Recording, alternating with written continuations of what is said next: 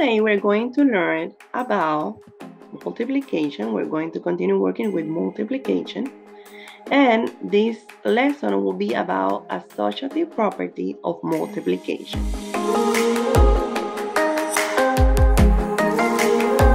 Associative property of multiplication states that the way in which factors are grouped does not affect, does not change the product. Here we have an example. We can multiply 5 times 2 or we can multiply 3 times 5. Let's see this very quick. 5 times 2 equals 10. Then we multiply 10 times 3 and that is 30. Now let's see when we do this grouping. Let's see. 3 times 5 equals 15. 15 times 2. You may say, I don't know how to multiply 15 times 2. Remember that multiplication is like repeated addition. In this case, we can add 15 plus 15 and we know that it is 30. We got the same answers in the two multiplication problems. Let's do problem solving. First step, we need to read the problem as many times as we need. Once we read the problem, we're going to focus on the question. In this case, the question is, how many shirts does the store have in all? Ready to begin? Let's go!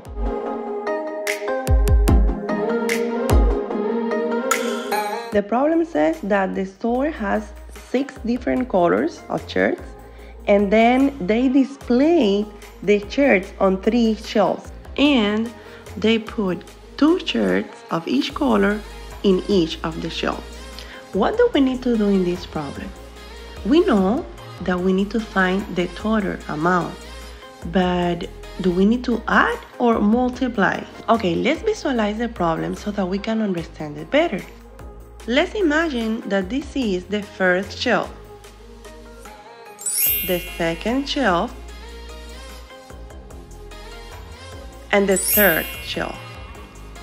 So if you were thinking that we need to multiply 6 times 3 times 2, you are correct because we need to multiply. Of course, we're going to use a associative property of multiplication. According with a associative property of multiplication, I can group the factors as I need and it doesn't affect the product. So let's do the first step.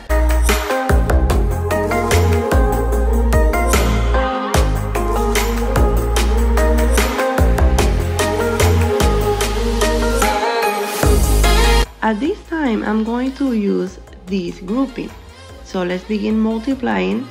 6 times 3 equals 18 then 18 times 2 in this case remember that we can use repeated addition 18 times 2 is the same as when we add 18 plus 18 8 plus 8 equals 16 we put the 6 in the ones place and then we put the 1 in the tens place then we add the tens place which is 3 so my answer is 36 very quick, we're going to use the other grouping so that you can see that the product doesn't change.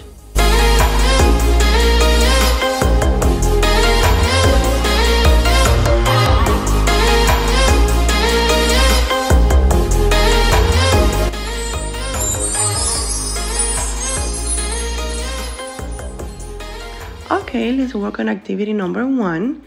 Let's remember that first of all, we need to use the parentheses to show what are the factors that we're going to multiply first.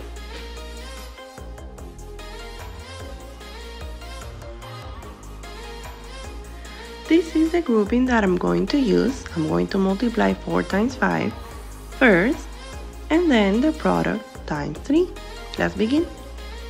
4 times 5 equals 20. 20 times 3. Remember we can use repeated addition we can add 20 plus 20 plus 20. That makes us 60. So my answer is 60. The first possible answer is the correct one, letter E. Now let's do activity number two. Activity number two says find the correct way to solve, mark all that apply. And this is a multiplication equation that we have 6 times 7 times 2. Since it says mark all that apply, we have to make sure that we find all the possible answers corresponding for this multiplication equation. This is a tricky activity, so we have to go deeper and think smarter. There we go. First step, use parentheses to show the grouping that you're going to use. We're now ready to multiply. 6 times 7 equals 42. Then 42 times 2. So now let's look at the possible answers. We have 42 times 2. We have found the first answer. We have to continue working. Now is the time that we multiply 42 times 2 and we're going to find a final answer. To multiply 42 times 2, we can use repeated addition, which is 42 plus 42 and that's equal to 84. And here we have another answer, 84. Answer A and answer B. Very good. But now we have another way to work with because we can use another grouping. Here we have the other possible grouping that we can use. Instead of multiplying 6 times 7, we can multiply 7 times 2. So let's begin working on it. 7 times 2 equals 14. Then 6 times 14. And let's look at the possible answers. We have 6 times 14. So that means that here we have another answer for this multiplication problem. Very good. We have found three answers so far. Very good. We have three answers so far, but we cannot stop working at this time. We have to do the last step because we never know if we are going to have all the choices.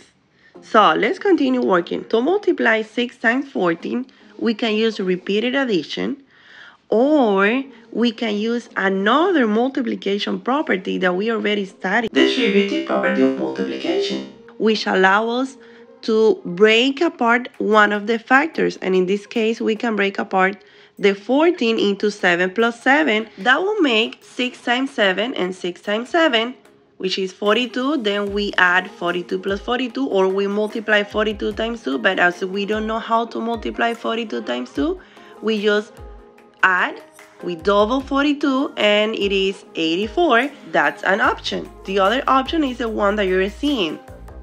Repeated addition. 14 plus 14 plus 14 plus 14 plus 14 plus 14 and that will be also 84 so we already have that answer.